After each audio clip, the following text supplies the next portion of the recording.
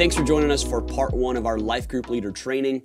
We believe that when the leader gets better, everybody gets better. Uh, we're going to talk in the next little bit of time about two things. We're going to talk about our life group leader philosophy and the dark sides of small group or life group leading. And so I want to start off with some philosophy. Here's a thought for you that you can write down. Most leaders stress over the right strategy. The best leaders seek to develop the right people. So, what's primary for us is not building the healthiest uh, strategies, organization, and culture. What we want to do is we want to bring on the right people. That naturally leads to uh, the healthiest strategies, organization, and culture. So, if we can bring the, bring the best people around the table, those A plus leaders, we believe that that's going to lead to the healthiest structure and organization and culture. So, uh, in fact, Jessica Herrin says that shaping your culture is more than halfway done once you hire your team. I love that. Say it one more time. Shaping your culture is more than halfway done once you hire your team. So the fact that you're listening to this right now, the fact that you're watching this, uh, says a lot about you. Says that you want to grow, that you want to take your leadership seriously.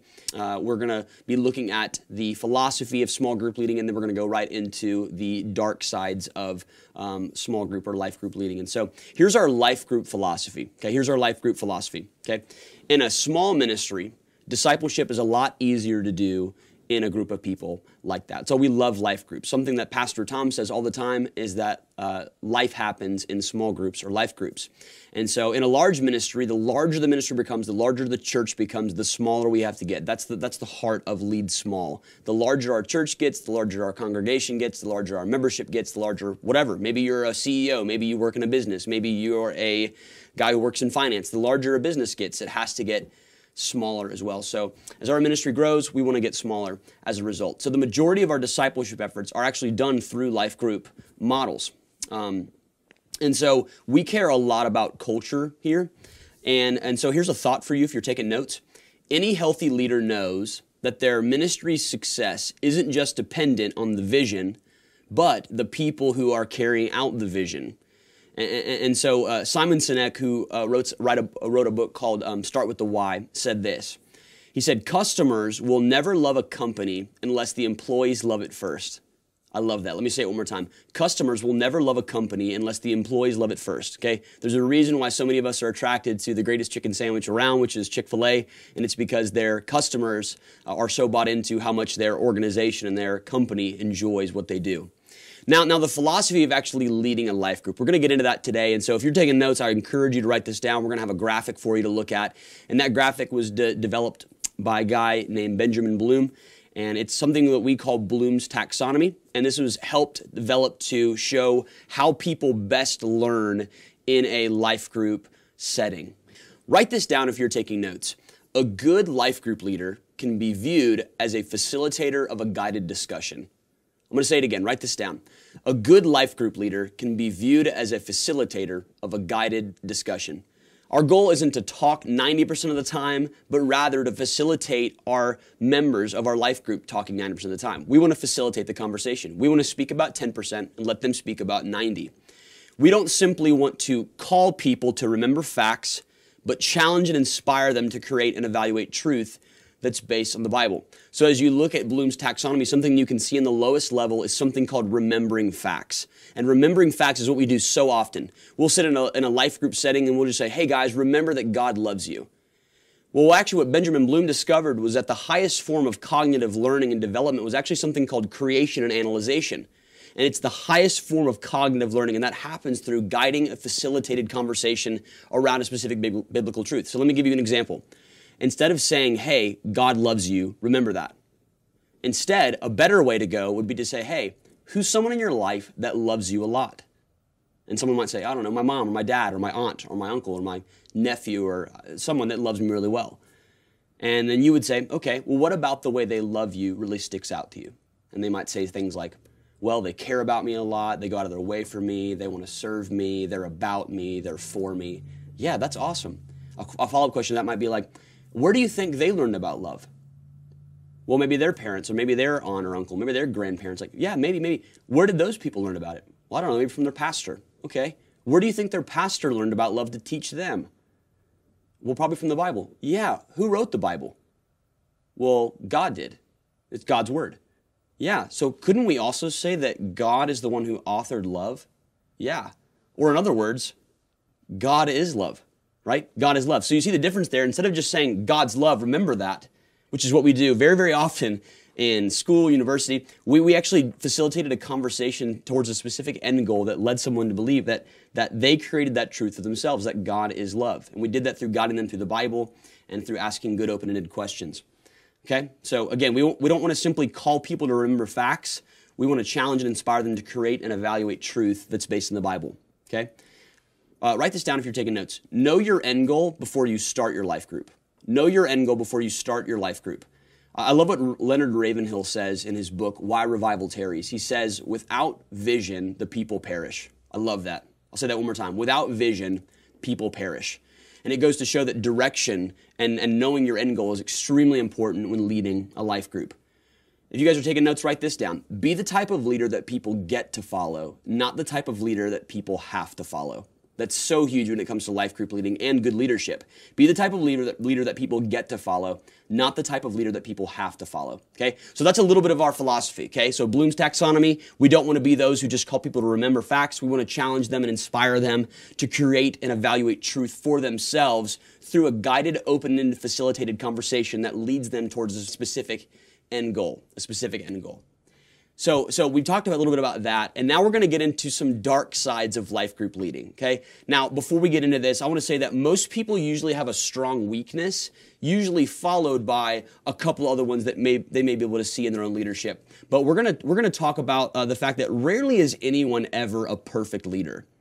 And so the reason we're having this training, the reason you might be watching this right now at your computer or on the TV in your living room or with a group of people is because you want to go deeper in your leadership and you want to know how. Well, we want to equip you to do that. But the first thing sometimes in getting better is recognizing where we fail, our faults, and the ways we need to get better.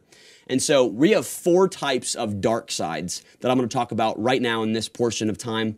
And then uh, part two, Tom is going to get into um, the, the type of leader we're wanting to build. So we're going to share about four dark sides of life group leading.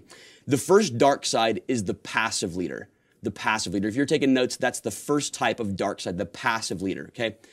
Write this down. The passive leader creates disengaged followers. I'll say it one more time. The passive leader creates disengaged followers.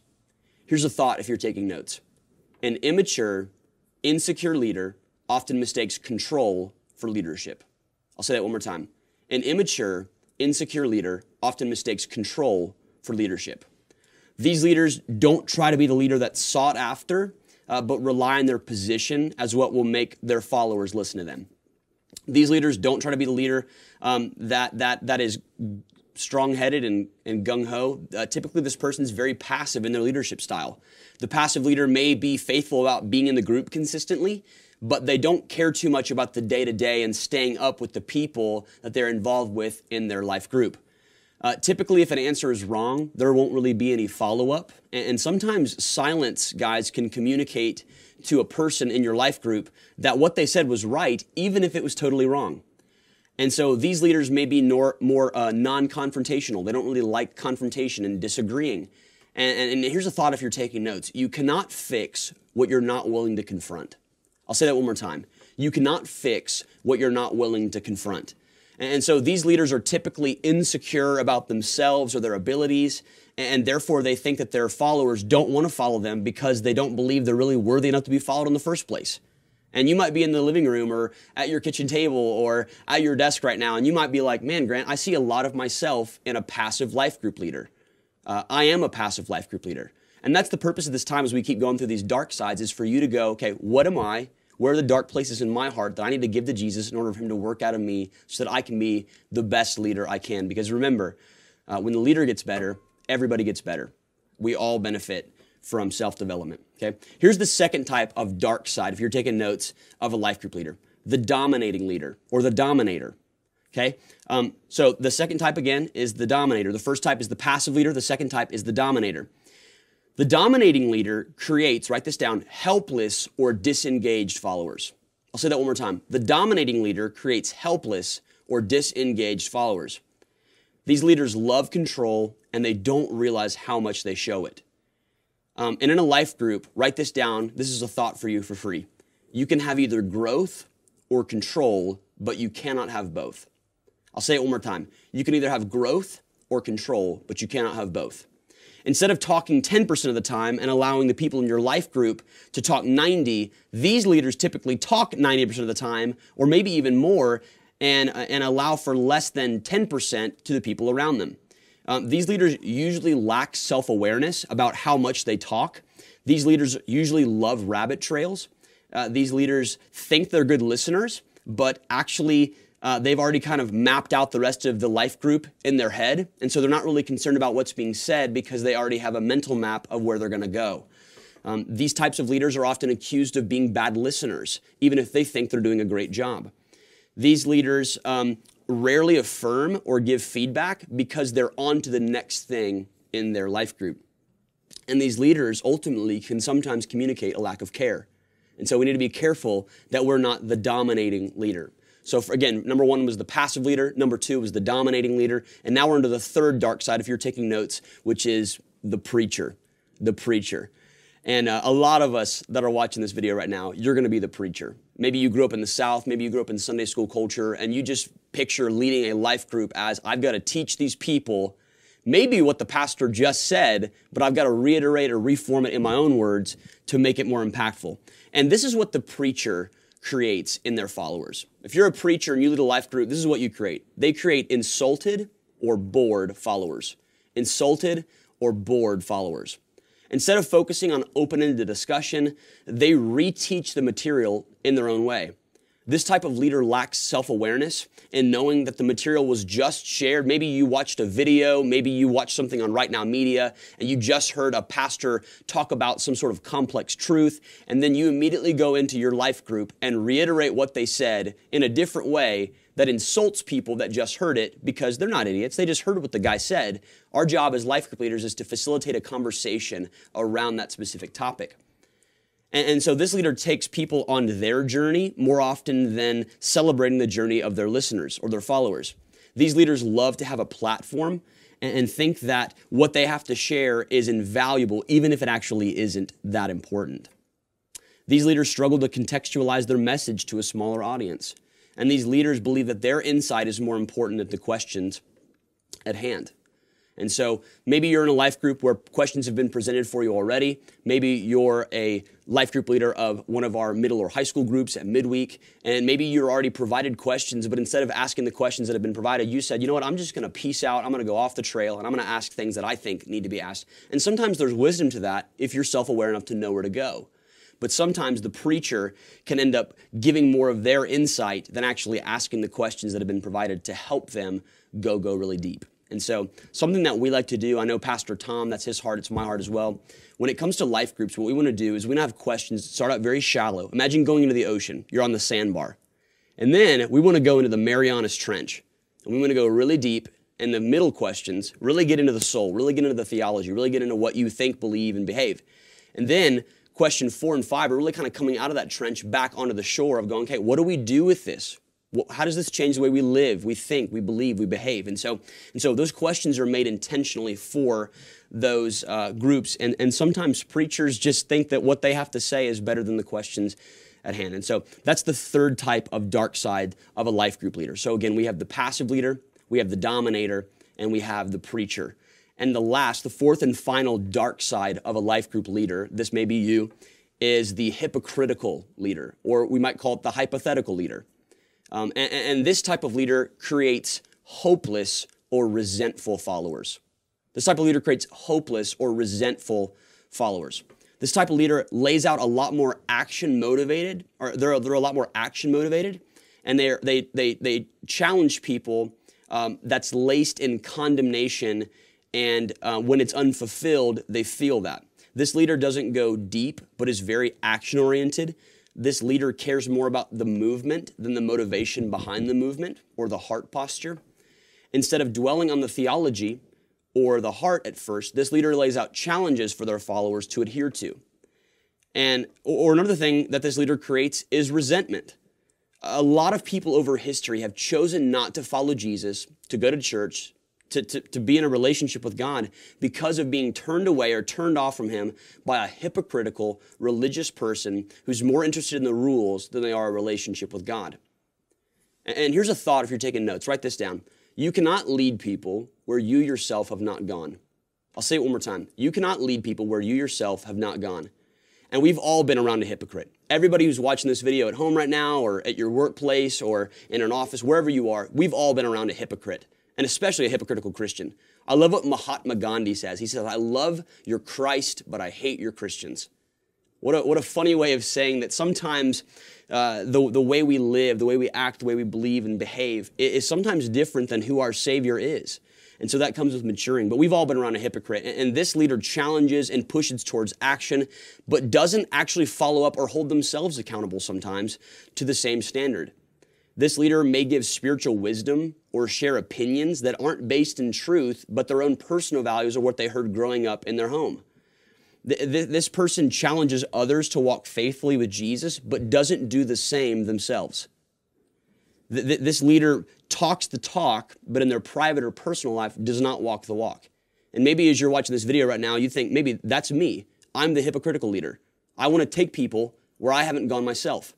Check this out, guys. This leader mistakes position with authority. This type of leader mistakes position with authority. This leader is the type of leader that leverages their authority, their position, or their title to garnish a following. But check this out. This leader is typically the kind of person that will gain a following quickly, but lose it gradually because the people following this leader realize they aren't really who they say they are under the surface.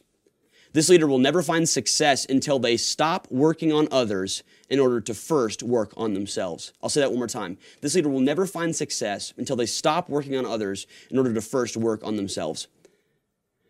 Now, guys, that's the four dark sides of a life group leader, and all of us have traits uh, of these leaders within our own leadership styles. Even if you think you're a perfect, awesome guy or girl watching this video right now, I guarantee you there are some dark parts of your heart or your soul that you really haven't addressed fully yet.